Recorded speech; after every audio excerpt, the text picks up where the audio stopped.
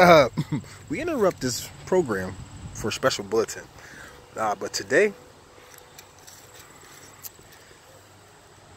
today's message God is going to do some miraculous things, He's going to exceed your expectation.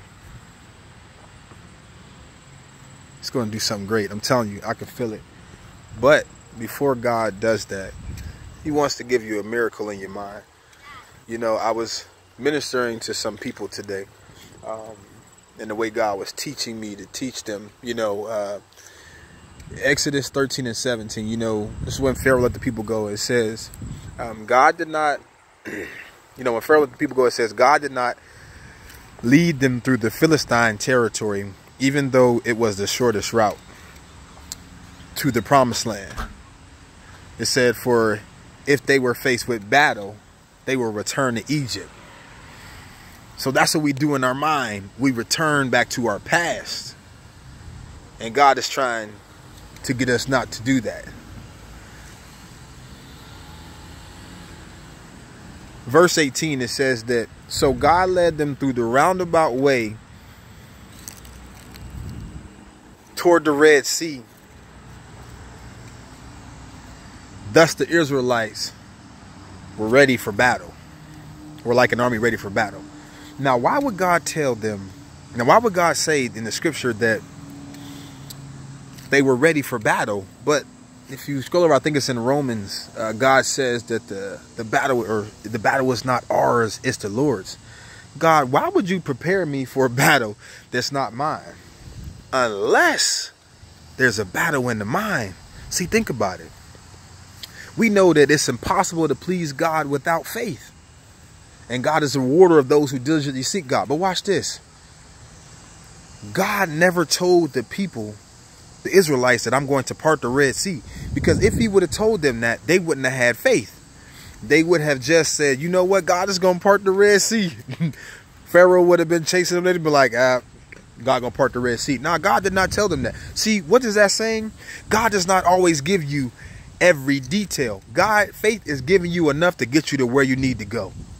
Did you hear what I said? Faith is getting you enough to get you to where you need to go or where you need to be. See, so God took them towards the Red Sea.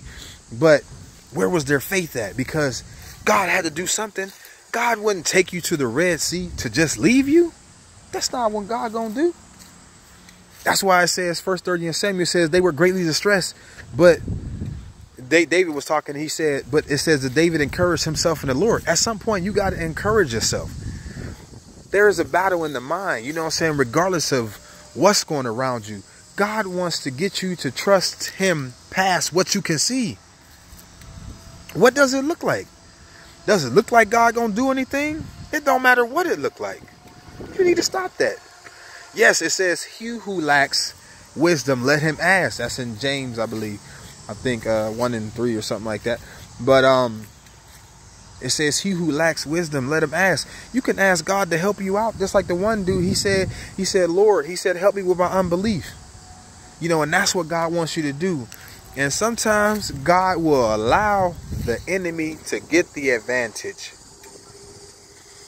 Why? Let's get into that. So if you know the story of Gideon, right?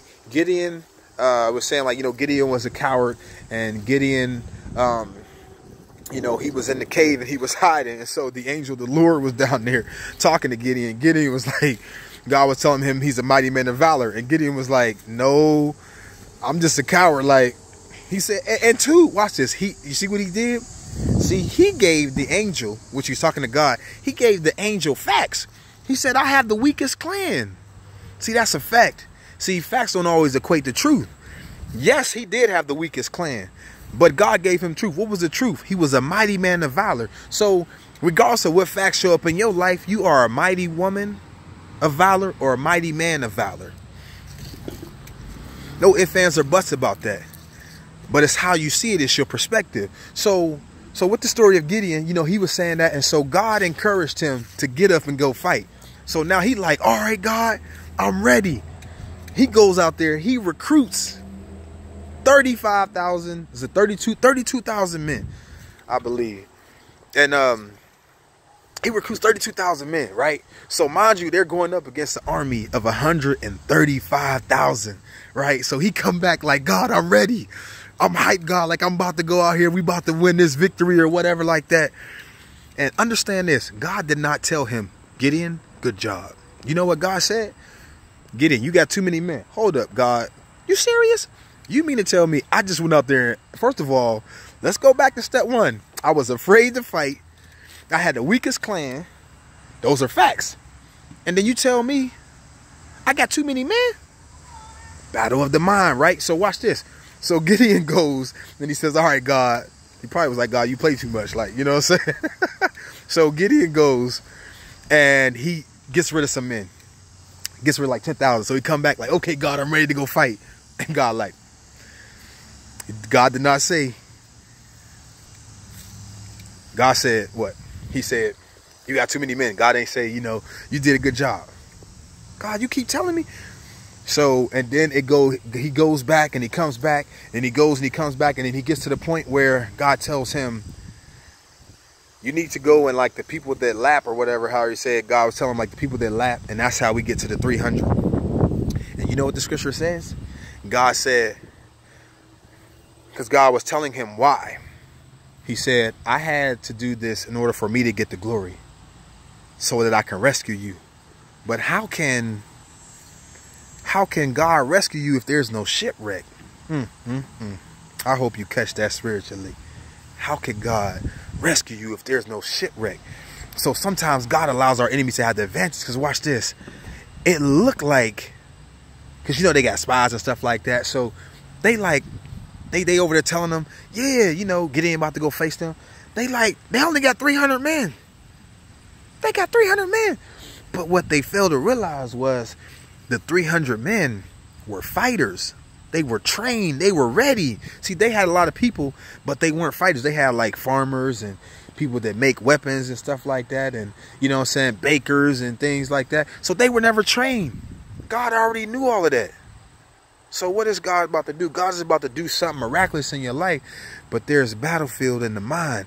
And that's where you got to get. That's where you got to get. You got to ask God, teach me how to train my eyes past what I can see. That's where we got to get to. Because it don't matter what it look like. Like I told you, facts don't always equate to truth.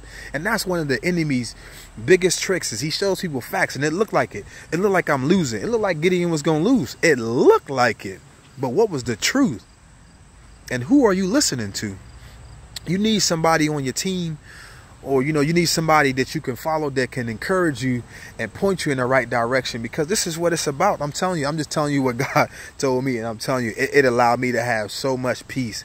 It allowed me to have so much joy you know what i'm saying? Because my joy it says the joy of the lord is your strength you know what i'm saying? So i i, I just i just learned to say you know what god there was times i said i'm gonna just sit back and let god be god.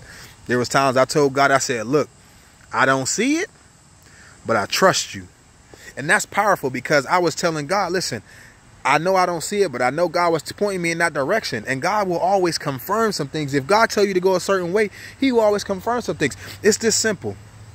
You all you got to do is turn on God's GPS. The GPS system is God's positioning system. And understand that the GPS that goes in our vehicles, you know, center on our phones, um, they don't always they always take the shortest route. But watch this, no matter which way you go, God's GPS system will always recalculate.